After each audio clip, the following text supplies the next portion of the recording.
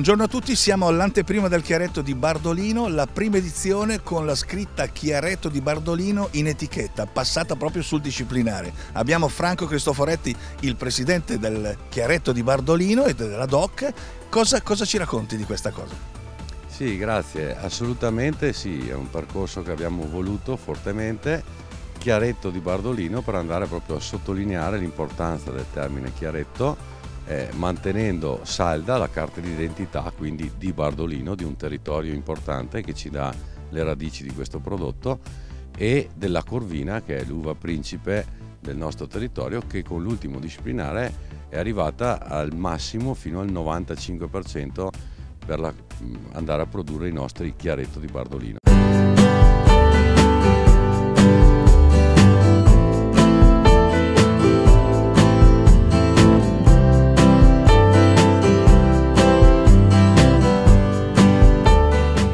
Bardolino la patria del chiaretto, da quest'anno poi siamo, possiamo leggere chiaretto anche in etichetta come dicitura del nuovo regolamento della, del disciplinare. Angelo Peretti ci racconta qualcosa anche di questa avventura.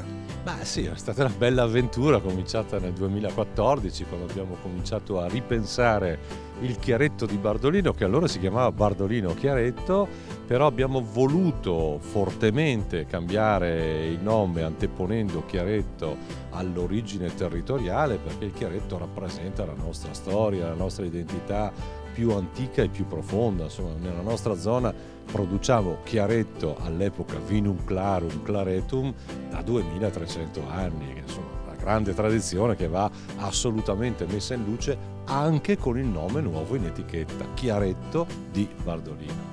Sono aumentate anche le vendite del chiaretto, sono aumentate soprattutto anche all'estero. Sì, diciamo incrociando le dita, insomma, nonostante la pandemia, nonostante la crisi dovuta al conflitto in Ucraina, ma comunque il chiaretto sta andando bene, ha chiuso marzo a più 26% sullo scorso anno e nei due anni di pandemia comunque il chiaretto aveva continuato a tenere le posizioni se non a crescere, grazie anche alla crescita su mercati nuovi, in particolare la Scandinavia, gli Stati Uniti e il Canada che hanno incominciato ad apprezzare in maniera molto consistente il chiaretto definendolo un vino rosa molto serio.